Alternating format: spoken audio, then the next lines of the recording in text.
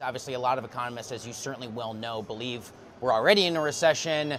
Eh, you know, if you if you pull the vast majority of CEOs globally, they say, well, if we're not in one now, we will be within the next 12 months. However, at the same time, as we saw this morning, unemployment is at 3.5 here in this country. What is your view on the recessionary environment? And, and I wonder, are there parts of that conversation that that you think maybe don't get talked enough about?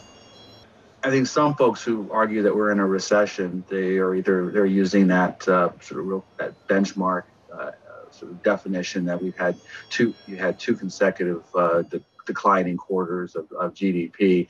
Uh, I tend not to subscribe to that narrow narrow approach. I like like what the National Bureau of Economic Research does, where they look at a variety of indicators, and when you do that, we're still, uh, especially the labor market, uh, we are we you know we're not in recession.